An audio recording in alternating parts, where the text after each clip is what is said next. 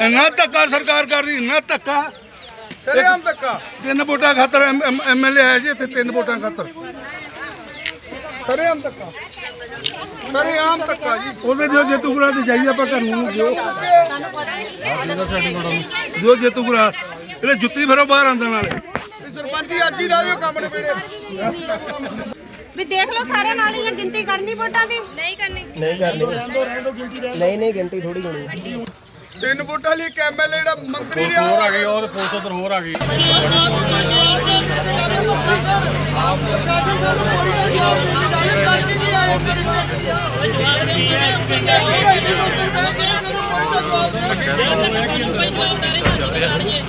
ਅੰਦਰ ਬਹਿ ਕੇ ਆਏ ਜੀ ਸਾਨੂੰ ਪੰਚਾਇਤੀ ਚੋਣਾਂ ਦੇ ਦੌਰਾਨ ਝੜਪ ਦੇ ਮਾਮਲੇ ਵੀ ਸਾਹਮਣੇ ਆਏ ਨੇ। ਤਾਜ਼ਾ ਮਾਮਲਾ ਇੱਕ ਹੋਰ ਸਾਹਮਣੇ ਆਇਆ ਜਿੱਥੇ ਕਿ ਪਿੰਡ ਵਾਲਿਆਂ ਦੇ ਵੱਲੋਂ ਐਸਡੀਐਮ ਦੀ ਗੱਡੀ ਦਾ ਘਿਰਾਓ ਕੀਤਾ ਗਿਆ ਅਤੇ ਉਹਨਾਂ ਦੇ ਵੱਲੋਂ ਰੋਸ ਪ੍ਰਦਰਸ਼ਨ ਵੀ ਕੀਤਾ ਗਿਆ।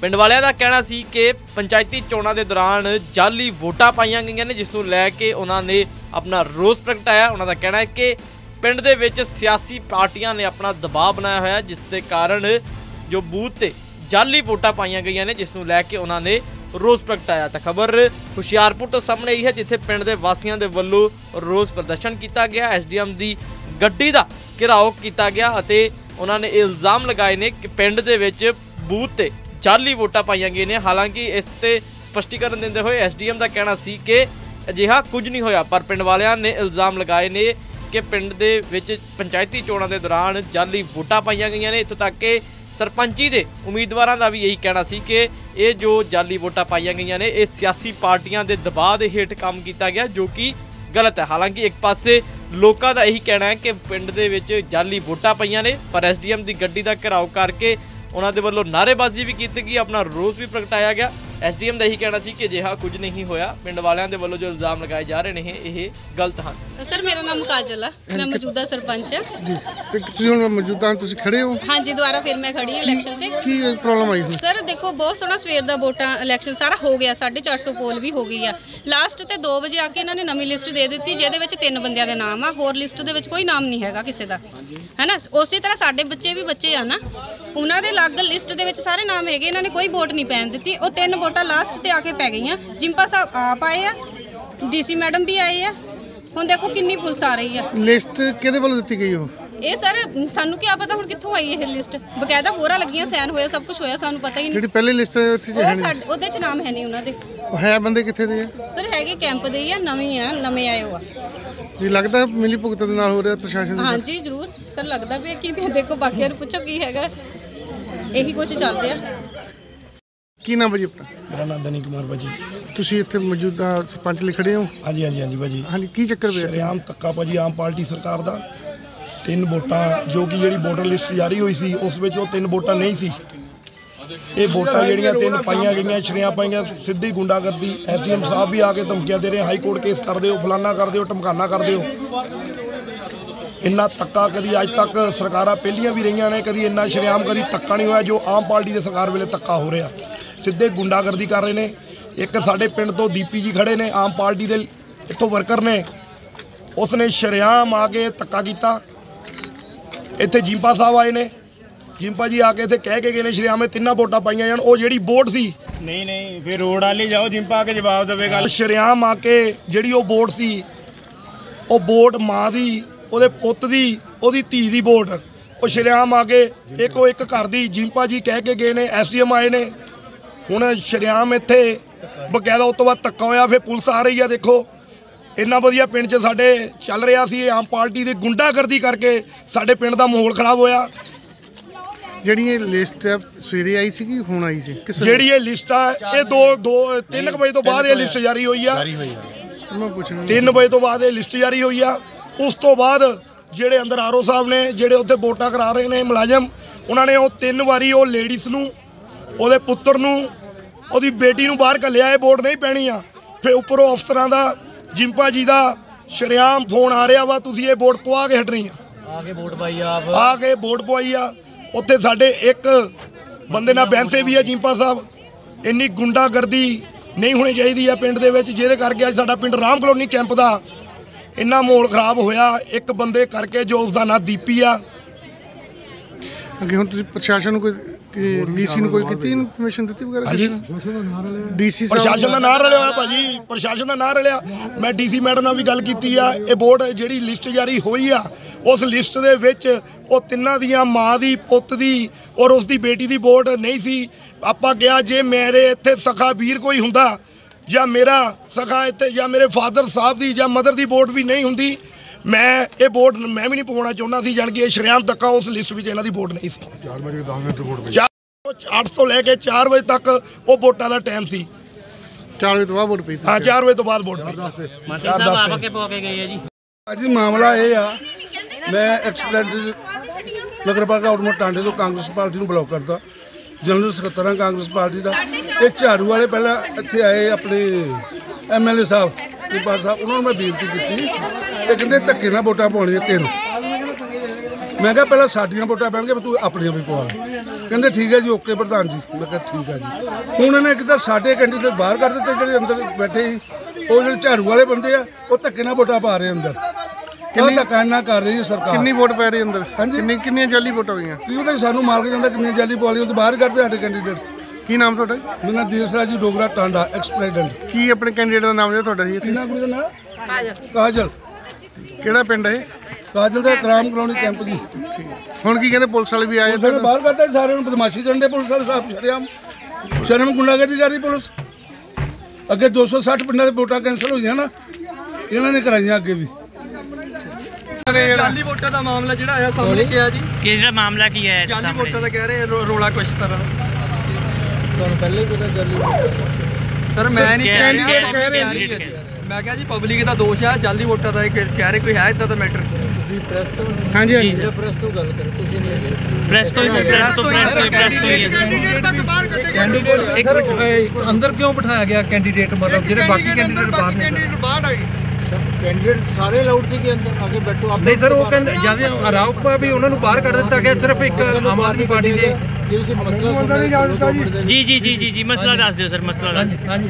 ਮਸਲਾ ਇਸ ਤਰ੍ਹਾਂ ਹੈ ਜੀ ਸਰ। ਪ੍ਰਕਿਰਿਆ ਹੁੰਦੀ ਹੈ। ਹਾਂਜੀ ਜੀ। ਉਹਦੇ ਤਹਿਤ ਇੱਕ ਮਦਰ ਰੋਲ ਬਣਦਾ ਹੈ। ਜੀ ਸਰ। ਲਿਸਟ ਬਣਦੀ ਹੈ। ਜੀ ਸਰ। ਉਸ ਤੋਂ ਬਾਅਦ ਇੱਕ ਸਮਾਂ ਦਿੱਤਾ ਜਾਂਦਾ ਹੈ ਕਿ ਜਿਨ੍ਹਾਂ ਦੇ ਵੋਟ ਨਹੀਂ ਬਣੇ ਫਾਰਮ 1 ਭਰ ਕੇ ਨਵੇਂ ਵੋਟ ਬਣਾ ਸਕਦੇ ਠੀਕ ਹੈ ਸਰ। ਉਹਦੇ ਵਾਸਤੇ 4 ਅਕਤੂਬਰ ਲਾਸਟ ਡੇਟ ਸੀਗੀ। ਜੀ ਸਰ। ਜਿਨ੍ਹਾਂ ਨੇ ਉਦੋਂ ਤੱਕ ਦਿੱਤੇ ਉਹ ਇਸ ਬੂਥ ਦੇ ਵਿੱਚ ਤਿੰਨ ਵੋਟਰ ਸੀਗੇ। ਉਹਨਾਂ ਦੇ ਡਿਊ ਪ੍ਰਕਿਰਿਆ ਕਰਕੇ ਉਹਨਾਂ ਦਾ ਸਪਲੀਮੈਂਟ ਤਿਆਰ ਕਰਕੇ ਇੱਥੇ ਦਿੱਤਾ ਗਿਆ। ਜੀ ਸਰ। ਇੱਥੇ ਉਹਨਾਂ ਦੇ ਬੈਗ ਦੇ ਵਿੱਚੋਂ ਨਹੀਂ ਨਿਕਲਿਆ। ਸਪਲੀਮੈਂਟ 4 ਅਕਤੂਬਰ ਦਾ ਬਣ ਕੇ 5 ਅਕਤੂਬਰ ਦਾ ਪ੍ਰੈਸ ਤੋਂ ਪ੍ਰਿੰਟ ਹੋਇਆ ਹੋਇਆ ਹੈ। ਇੱਕ ਕਾਮਨ ਸੈਂਸ ਦੀ ਗੱਲ ਹੈ ਤੁਸੀਂ ਕਦੋਂ ਵੈਰੀਫਾਈ ਕਰਾ ਲਓ ਕੋਈ ਸਪਲੀਮੈਂਟ ਅੱਜ ਨਹੀਂ ਤਿਆਰ ਕਰ ਸਕਦਾ। ਠੀਕ ਹੈ ਸਰ। ਇੱਥੇ ਨਹੀਂ ਮਿਲਿਆ ਅੱਜ ਮੈਂ ਆਪਣੀ ਫਾਰਵਰਡਿੰਗ ਆਪਣੇ ਸਾਈਨ ਕਰਕੇ ਦੁਬਾਰਾ ਦਿੱਤਾ ਕਿ ਤੁਹਾਡੇ ਕੋਲ ਮਿਸਪਲੇਸ ਹੋ ਗਿਆ ਆਹ ਫੜੋ ਸਪਲੀਮੈਂਟ ਇਹ ਐਲੀਜੀਬਲ ਤਿੰਨ ਵੋਟਰਸ ਹੈ ਜਿਹੜੇ 4 ਅਕਤੂਬਰ ਨੂੰ ਬਣ ਗਏ ਸੀ। ਜੀ। ਉਹਦੇ ਬਾਰੇ ਇੱਥੇ ਸ਼ਾਇਦ ਮਿਸ ਇੰਪ੍ਰੈਸ਼ਨ ਚਲਾ ਗਿਆ ਕਿ ਉਹ ਅੱਜ ਗਲਤ ਵੋਟਾਂ ਬਣੀਆਂ। ਨਹੀਂ ਸਰ ਪਰ ਵੋਟ ਉਹ ਟਾਈਮ ਸਿਰ ਵੀ ਪਾਈ ਜਾ ਸਕਦੀ ਹੈ। 4 ਵਜੇ ਤੋਂ ਬਾਅਦ ਕਿਉਂ ਵੋਟ ਪੋਲ ਕਰਵਾਈ ਗਈ? ਪਾਣ ਨਹੀਂ ਦਿੱਤੀ ਗਈ ਜੀ ਇੱਥੇ। ਉਹ ਤੇ ਅਸੀਂ ਆਏ ਹਾਂ ਉਹਨੇ ਦੱਸਿਆ ਕਿ ਇੱਥੇ ਫੋਰਸੀਬਲੀ ਵੋਟ ਨਹੀਂ ਪਾਉਣ ਦਿੱਤੀ ਜਾ ਰਹੀ। ਸਪਲੀਮੈਂਟ ਤਾਂ ਸਵੇਰੇ ਸਪਲਾਈ ਕਰਤਾ ਗਿਆ ਸੀ। ਉਹਨਾਂ ਨੇ ਇਹ ਪ੍ਰਭਾਵ ਦੇਣ ਦੀ ਇੱਥੇ ਕੋਸ਼ਿਸ਼ ਕੀਤੀ ਗਈ ਹੈ ਕਿ ਨਵੀਂ ਵੋਟ ਅੱਜ ਬਣਾ ਕੇ ਜੀ। ਜੀ ਜੀ ਜੀ। ਉਹ ਨਵੀਂ ਵੋਟ ਨਹੀਂ ਹੈਗੀ ਉਹ ਸਪਲੀਮੈਂਟ ਹੈਗਾ। ਤੁਸੀਂ ਵੱਖਰੇ ਤੌਰ ਤੇ ਵੀ ਮੇਲਾ ਲਾ ਕੇ ਵੈਰੀਫਾਈ ਕਰ ਸਕਦੇ ਹੋ। ਇਹਨਾਂ ਨੂੰ ਮੈਂ ਕਿ ਆ ਮੇਰੀ ਚੀਜ਼ ਹੈ ਕਿਸੇ ਵਕੀਲ ਨਾਲ ਸਲਾਹ ਕਰ ਲਓ। ਮੈਂ ਸਾਈਨ ਕਰਕੇ ਦਿੱਤੇ ਤੁਸੀਂ ਹਾਈ ਕੋਰਟ 'ਚ ਚੈਲੰਜ ਵੀ ਕਰ ਲਓ। ਮੈਂ ਤਾਂ ਹੀ ਇੰਨੀਆਂ ਗੱਲਾਂ ਕਰ ਸਕਦਾ ਜੇ ਮੈਂ ਲੀਗਲ ਸਟਰੋਂਗ ਫੁਟਿੰਗ ਤੇ ਹਾਂ। ਠੀਕ ਹੈ ਸਰ ਠੀਕ ਹੈ ਥੈਂਕ ਯੂ ਸਰ ਕੀ ਪ੍ਰੋਬਲਮ ਸੀ? ਸੁਸਾ ਉੱਥੇ ਰਾਮ ਕਲੋਨੀ ਕੈਂਪ ਪਹੁੰਚੋ ਦੇਖੋ ਮੈਨੂੰ ਮੈਨੂੰ ਇੱਥੋਂ ਬੜੇ ਸਾਰੇ ਫੋਨ ਆਏ ਆ ਕਿ ਇੱਥੇ ਦੇ ਜਿਹੜੇ ਹੁਸ਼ਿਆਰਪੁਰ ਦੇ ਸਾਬਕਾ ਮੰਤਰੀ ਔਰ ਸਰਕਾਰ ਦੇ ਵਿੱਚ ਔਰ ਲੋਕਲ ਐਮਐਲਏ ਉਹ ਆਪ ਆ ਕੇ ਕੋਈ ਜਾਲੀ ਵੋਟਾਂ ਭੁਗਤਵਾ ਕੇ ਗਏ ਜਿਨ੍ਹਾਂ ਦਾ ਪਹਿਲਾਂ ਲਿਸਟ 'ਚ ਕੋਈ ਜ਼ਿਕਰ ਨਹੀਂ ਸੀ। ਔਰ ਉਹਨਾਂ ਨੂੰ ਕਿਹਾ ਗਿਆ ਤਾਂ ਉਹਨਾਂ ਨੇ ਜਿਹੜੇ ਸਾਰੇ ਕੈਂਡੀਡੇਟ ਸੀ ਉਹਨਾਂ ਨੂੰ ਬਾਹਰ ਕਢਵਾਤਾ ਔਰ ਉਹ ਤਿੰਨ ਵੋਟਾਂ ਪਾਈਆਂ ਕਿ ਸਪਲੀਮੈਂਟਰੀ ਲਿਸਟ 'ਚ ਹੈਗਾ। ਜਦ ਕਿ ਕਿਸੇ ਕੈਂਡੀਡੇਟ ਕੋਲ ਲਿਸਟ ਨਹੀਂ ਸੀਗੀ।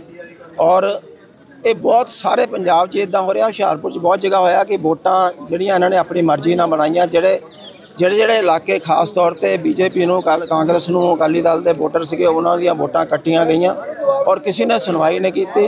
2024 ਦੀ ਲਿਸਟ ਇਹਨਾਂ ਨੇ ਫੜ ਕੇ ਲਿਸਟ ਵੋਟਾਂ ਨਹੀਂ ਬਣਾਈਆਂ।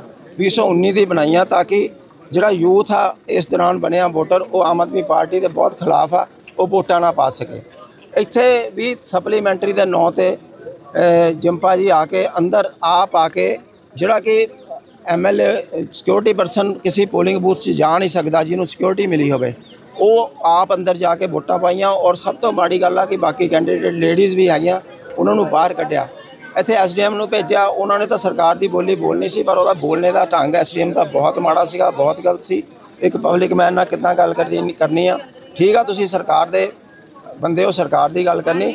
ਬਟ ਉਹ ਸੈਟੀਸਫਾਈ ਬਿਲਕੁਲ ਨਹੀਂ ਕਰਾ ਸਕੇ ਬਈ ਜਿੰਪਾ ਦੇ ਆਨੇ ਦਾ ਕਾਰਨ ਸੀ, ਕੀ ਸੀ, ਔਰ ਬਾਕੀ ਕੈਂਡੀਡੇਟ ਨੂੰ ਬਾਹਰ ਕੱਢਣ ਦਾ ਕੀ ਕਾਰਨ ਸੀ। ਪਰ ਸੂਸਾ, ਉਹ ਸਿੱਧੇ ਤੌਰ ਤੇ ਕਹਿ ਕੇ ਗਏ ਆ ਕਿ ਮੈਂ ਜੋ ਵੀ ਕੀਤਾ, ਕਾਨੂੰਨ ਦੇ ਵਿੱਚ ਰਹਿ ਕੇ ਕੀਤਾ, ਬੇਸ਼ੱਕ ਲੋਕ ਹੈ ਹਾਈ ਕੋਰਟ ਵੱਲ ਰੁਖ ਕਰ ਸਕਦੇ ਨੇ ਜੀ। ਹਾਈ ਕੋਰਟ ਲੋਕੀ ਆਪਣਾ ਰੋਸ਼ ਤਾਂ ਦੱਸ ਹੀ ਸਕਦੇ ਰੋਸ਼ ਦੱਸ ਰਹੇ ਹੋਰ ਕਿਸੇ ਦੇ ਸਿਰ ਤੇ ਡਾਂਗ ਮਾਰਦੇ ਆ। ਹਾਈ ਕੋਰਟ ਤਾਂ ਜਾਣਾ ਜਦੋਂ ਜਾਓਗੇ ਹੀ, ਆਪਣਾ ਰੋਸ਼ ਨਹੀਂ ਲੋਕੀ ਦੱਸਣ। ਲੋਕੀ ਰੋਸ਼ ਦੱਸਣ ਉਹਨਾਂ ਨੂੰ ਕੋਈ ਤੁਸੀਂ ਕੋਈ ਲੌਜੀਕਲੀ ਜਵਾਬ ਦਿਓ ਤਾਂ ਗੱਲ ਬਣਦੀ ਉਹਨਾਂ ਦਾ ਜਵਾਬ ਹੀ ਉਹਨਾਂ ਕੋਲ ਕੋਈ ਹੈ ਨਹੀਂ ਤੁਹਾਡੇ ਨਾਲ ਥੋੜੀ ਥਲਕ ਕਲਮ ਤਲਖ ਹਾਂ ਗੱਲ ਤਾਂ ਉਹਨੂੰ ਨਹੀਂ ਇਦਾਂ ਦੇ ਅਫਸਰਾਂ ਨੂੰ ਇਦਾਂ ਨਹੀਂ ਕਰਨਾ ਚਾਹੀਦਾ ਸਰਕਾਰਾਂ ਬਦਲਦੀਆਂ ਰਹਿੰਦੀਆਂ ਔਰ ਫਿਰ ਇਹਨਾਂ ਨੂੰ ਭੁਗਤਣੀਆਂ ਵੀ ਪੈਂਦੀਆਂ। ਸਰ ਤਿੰਨ ਕੈਂਡੀਡੇਟ ਸੀ ਜਿਨ੍ਹਾਂ 'ਚ ਇੱਕ ਅੰਦਰ ਦੋ ਬਾਹਰ ਨਹੀਂ ਸੀ ਕਿੱਦਾਂ ਦੇ ਕਿ ਇਹ ਗਿਣਤੀ ਉਹ ਇੱਕ ਇੱਕ ਕੈਂਡੀਡੇਟ ਕਰਾ ਸਕਦਾ ਅੰਦਰ? ਕਿਹੜਾ? ਜਦ ਦੋ ਤਿੰਨ ਨਹੀਂ ਕਰਵਾ ਕੱਢੇ ਗਏ ਆ ਕੈਂਡੀਡੇਟ ਤਾਂ ਬਾਹਰ ਕੱਢ ਦਿੱਤੇ ਹੁਣ ਅੰਦਰ ਹੀ ਨੇ ਆਉਣ ਦਾ ਘੁੰਮਣ ਦੋ ਕੈਂਡੀਡੇਟ ਬਾਹਰ ਕੱਢਦੇ ਤੇ ਇੱਕ ਅੰਦਰ ਆ ਜਿਨ੍ਹਾਂ ਦਾ ਉਹ ਜਿਹੜਾ ਉਹਨਾਂ ਦਾ ਬੰਦਾ ਉਹਨੂੰ ਅੰਦਰ ਰੱਖ ਕੇ ਕਿ- ਗਿਣਤੀ ਕਰਾਓ ਵੋਟਾਂ ਪਵਾਓ ਜੋ ਮਰਜ਼ੀ ਕਰੀ ਚਲੋ ਚਾਹੇ ਸਾਰੀਆਂ ਵੋਟਾਂ ਬਦਲ ਦਿਓ। ਤੇ ਇਦਾਂ ਹੀ ਇਹ ਬੂਥ ਕੈਪਚਰਿੰਗ ਹੀ ਹੋਈ ਹੈ ਸਾਰਾ ਧੱਕਾ ਹੋ ਗਿਆ ਇੱਥੇ ਆ ਕੇ ਔਰ ਮੰਤਰੀ ਐਕਸ ਮੰਤਰੀ ਐਮਐਲਏ ਆਪ ਕਰਵਾ ਕੇ ਗਿਆ।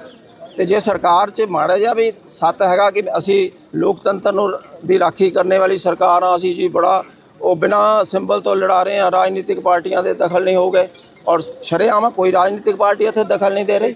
ਅੱਜ ਤਾਂ ਲੋਕਾਂ ਦੀ ਫਰਿਆਦ ਤੇ ਇੱਥੇ ਪਹੁੰਚੇ ਆ ਔਰ ਲੋਕਾਂ ਦੀ ਮੁੱਦੇ ਨੂੰ, ਲੋਕਾਂ ਦੀ ਗੱਲ ਨੂੰ ਉਜਾਗਰ ਕਰਨ ਆਏ ਹਾਂ।